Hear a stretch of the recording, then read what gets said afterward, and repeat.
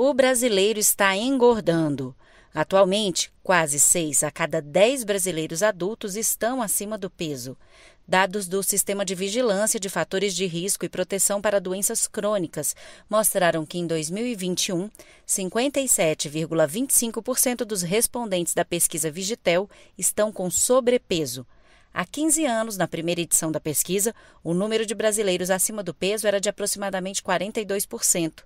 Para a endocrinologista Andressa Heimbicher, da Sociedade Brasileira de Endocrinologia e Metabologia de São Paulo, estar acima do peso é apenas a ponta do iceberg.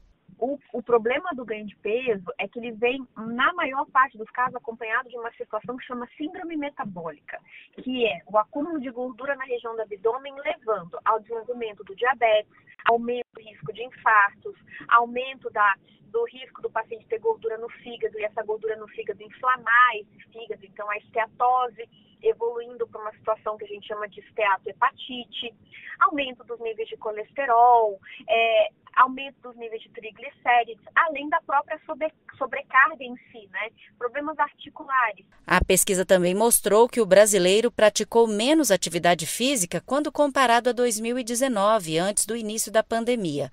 Além disso, em 2021, mais de 65% dos respondentes afirmaram que gastaram mais de três horas do tempo livre usando o computador, o celular ou assistindo televisão. Para a nutricionista Camila Araújo, especialista em segurança alimentar, a conjunção do sedentarismo com a falta de tempo para o preparo dos alimentos resulta na piora nutritiva e no ganho de peso.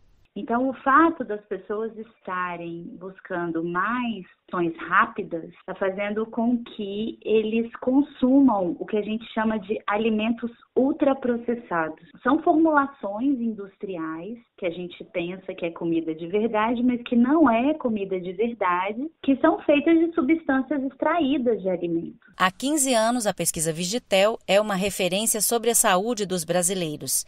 Nesta edição foram ouvidas 27.093 pessoas com 18 anos de idade ou mais entre setembro de 2021 e fevereiro de 2022. A pesquisa foi feita por telefone e abordou 40 variáveis para levantar informações sobre hábitos alimentares, prática de atividade física, presença de doenças crônicas como hipertensão, diabetes e obesidade.